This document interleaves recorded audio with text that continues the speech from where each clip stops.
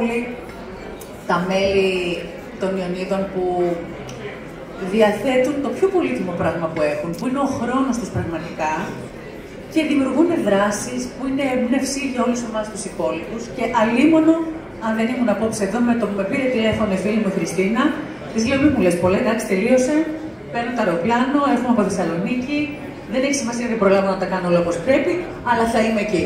Και είμαι εδώ. Και σας ευχαριστώ.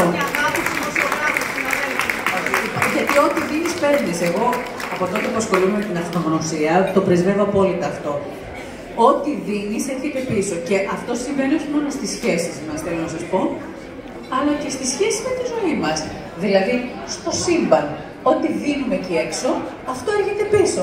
Γιατί το σύμπαν, όπως γράφω και στα βιβλία μου, δεν είναι ούτε εκδικητικό, ούτε τιμωρητικό. Είναι απλά ανταποδοτικό, τόσο απλά. Αυτό που δίνεις, αυτό θα επιστραφεί. Και αν δίνεις αγάπη, αν δίνεις ενθουσιασμό, αν δίνεις πίστη στο τι κάνεις, θα πάρεις αποτελέσματα.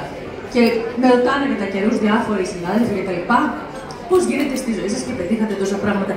Λένε πάρα πολύ απλό. Από μικρή έβαζα πάθος ό,τι έκανα. Ήμουν εκεί μόνο που τα κοίταρα. Έβαζα ενθουσιασμό.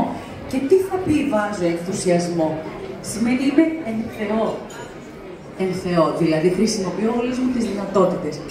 Και θα κλείσω, δεν ξέρω πόση ώρα θες να μιλήσω, θα κλείσω, μπορώ να μιλάω μέχρι αύριο, όπως καταλαβαίνετε, αλλά σέβομαι τώρα όλους τους χρόνους και τη διαδικασία, γιατί υπάρχουν σημαντικές γυναίκες, πολύ πιο σημαντικές από